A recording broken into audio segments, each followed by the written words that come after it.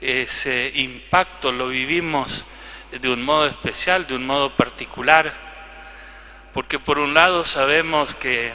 sigue muriendo gente, sabemos que hay muchos pueblos en cuarentena a lo largo y a lo ancho del planeta, sabemos que hay muchos médicos y gente trabajando, eh, corriendo muchos riesgos, sabemos que hay gente sola, sabemos de la crisis económica que golpea a los más pobres, a los refugiados, a las personas que están en situación de abandono. Eh, sabemos también del sufrimiento y eh, de lo difícil, tedioso que se hace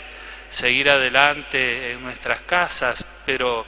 convencidos de que es algo que ayuda y que es algo fundamental. Se puede decir felices Pascuas, se puede hablar de la alegría, se puede hablar de la esperanza, se puede hablar de la felicidad en este contexto.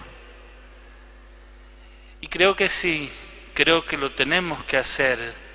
porque en realidad en la resurrección de Cristo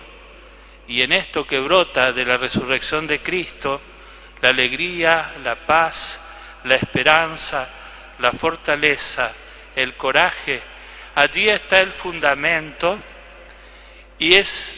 de esa, de esa fuerza, de esa fuente donde podremos beber para poder seguir adelante y para poder superar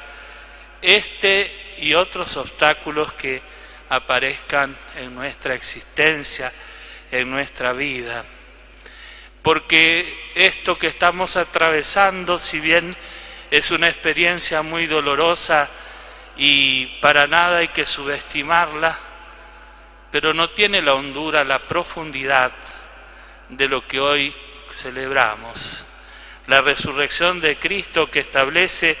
otra plataforma, otra realidad desde la cual podemos mirar y vivir todas las cosas.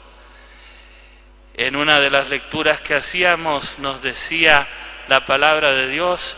los caminos de ustedes no son los caminos de Dios ni los pensamientos de ustedes no son los pensamientos de Dios. Cantábamos en el pregón pascual, feliz culpa que nos mereció tan noble y tan grande redentor. Es que Cristo resucitado se constituye en el fundamento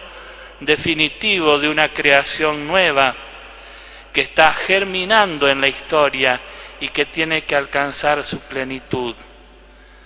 Por eso, si vivimos con dedicación y buscando los mejores recursos el tiempo de cuaresma,